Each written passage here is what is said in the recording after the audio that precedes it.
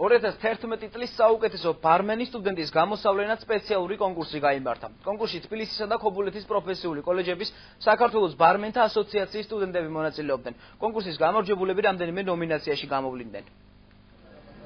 საუკეთესო კოქტეილი ვიზუალურად, კოქტეილის მომზადებისა საჭირო ეტიკეტის დაცვა, არომატი და სისწრაფე. ეს ის ძირითადი პირობებია, რომელიც ბარმენთა ფესტივალზე სტუდენტ ბარმენებს კონკურსის დროს მოეთხოვებოდათ. კონკურსანტებს მითითებულ დროში საკუთარი ფანტაზიით სამი სხვადასხვა დიზაინის კოქტეილის მომზადება დაევალათ. წლის საუკეთესო სტუდენტ ბარმენის ტიტულის მოსაპოვებლად ერთდროულად 30-მდე სტუდენტი იბრძოდა. პირველ ადგილზე გავდი პროფესიული კოლეჯის იკარუსი ბარმენი და ძალიან კაია, რავი. ამაზე მეტი არაფერი არ არის, ამაზე მეტი არაფერი არ მინდოდა. გავედი მესამე ადგილზე, ძალიან მადლობელი ვარ ჟიურის ამ ორგან ამ ჩემპიონატის ორგანიზატორების. ვარ კომპლექსის პროფესიული კოლეჯის მოსწავლე და დიდ მადლობას მოვხდი გასაულ დახმარებისთვის თითოეულ ამათთან. კონკურსი 2011 წლის საუკეთესო სტუდენტ ბარმენის გამოსავლენა თბილისის პროფესიულ კოლეჯ იკაროსში გამართა.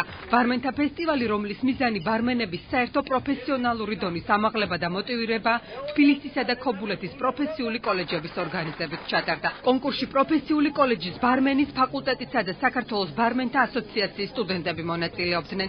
ორგანიზატორები ამბობენ, რომ ფესტივალის საუკეთესო საშუალება იმისთვის, რომ სტუდენტებმა ამ კუთხით მეტი გამოცდილება მიიღონ და საერთაშორისო საერთაშორისო სტანდარტებს ეზიარონ. ხდება გამოცდილების, ასე ვთქვათ, გაცვლა სტუდენტებს შორის, შორის პედაგოგებს შორის და ასე შემდეგ. აა და ჩნდება ისეთი ჯანსაღი, ასე ვთქვათ, კონკურენცია, რომელიც უყურებს თანახლავს ნებისმიერ კონკურსს.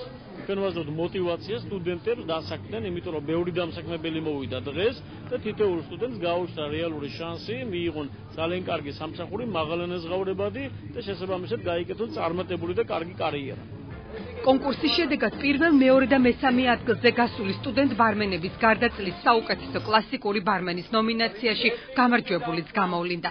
კონკურსის ყველა მონაწილეს ფესტივალში მონაწილეობის დამადასტურებელი სპეციალური დიპლომები, ხოლო საპრიზო ადგილზე გასულ სტუდენტებს სხვადასხვა სახის პრიზები გადაეცათ. ბარმენთა ფესტივალს საქართველოს განათლების სამინისტროს წარმომადგენლები და დამსაქმებლები დაესწრნენ.